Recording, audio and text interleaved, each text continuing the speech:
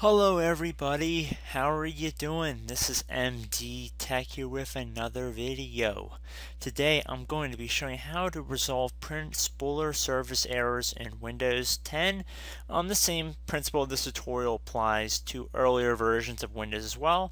Basically we're going to be going over if your print spooler service has stopped working and you might receive a pop-up indicating that. So in this tutorial I'll be showing how to set that up. So a lot of times the error message will actually read that, it, that you can't add a printer or you can't access a printer because the spooler is not running and it might ask you to restart the printer spooler or restart your computer. And if the later does not work for you guys I'm going to be showing how to hopefully resolve this by actually following along with what it's asking us to do. So we're going to jump straight into it. So we're going to start by heading over to the start menu and we're going to type in services. Should be listed right above desktop app. So you want to left click on that.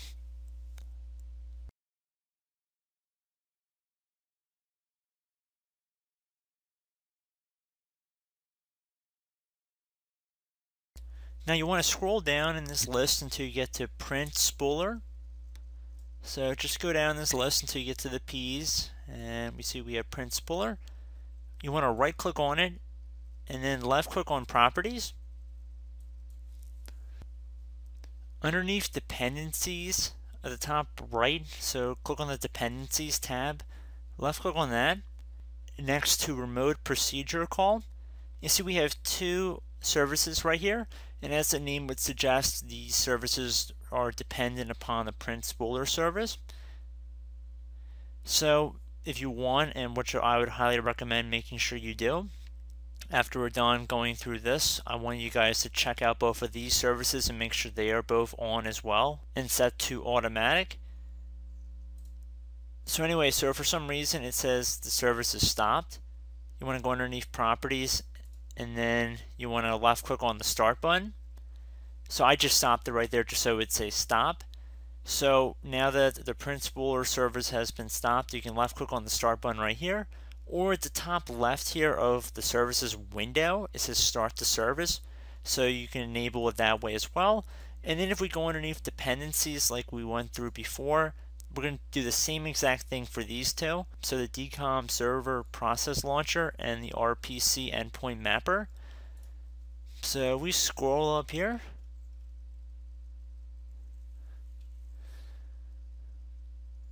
Sure enough, we have a DCOM server process launcher right here. Make sure this is also running as well. So if you have to go and right click on it and then properties, make sure that it is running and set to automatic. The same would go for the RPC endpoint mapper.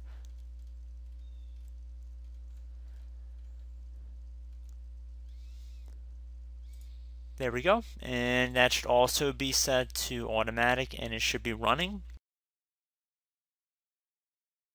Okay, so we can close out of here, and then I recommend restarting your computer. If you still get the same error alert, I'm going to be going through another workaround for you guys. Now, I believe this more or less applies to users of 32-bit versions of Windows. I don't know how effective it would be on a 64-bit machine, so just keep that in mind, but still there's a decent subset of the population that is running 32-bit versions of Windows, so this could definitely be applicable to many viewers of this video. So we're going to start by heading over to the start button here and we're going to type in system. Should be listed right above control panel. So you want to left click on that.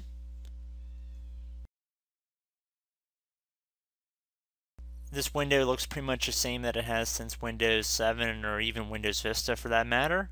But regardless, we're going to head over to the left side here where it says Advanced System Settings. And we're going to left click on that.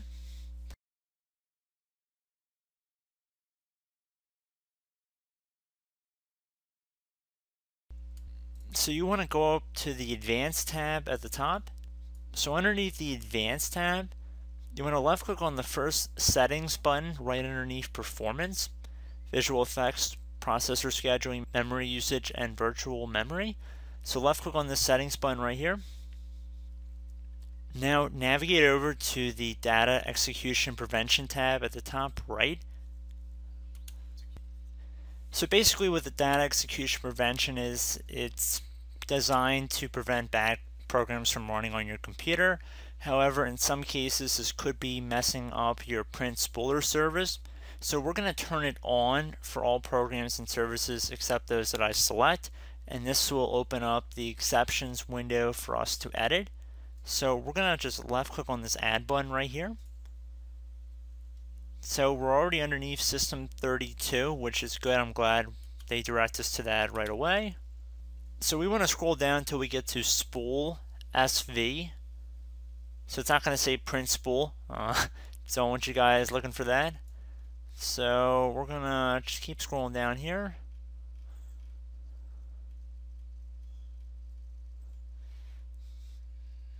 There we go, and there's a little printer icon next to it, or at least there should be.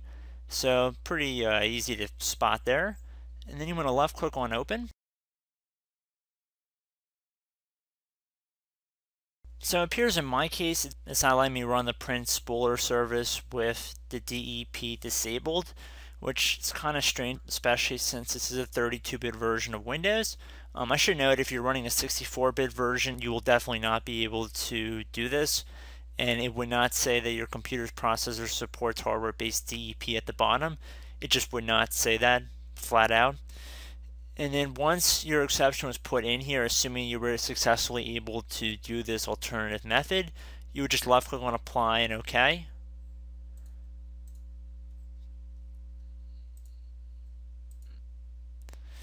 So it's unfortunate I wasn't able to fully show that in this tutorial and I apologize for that. However, you guys get the gist.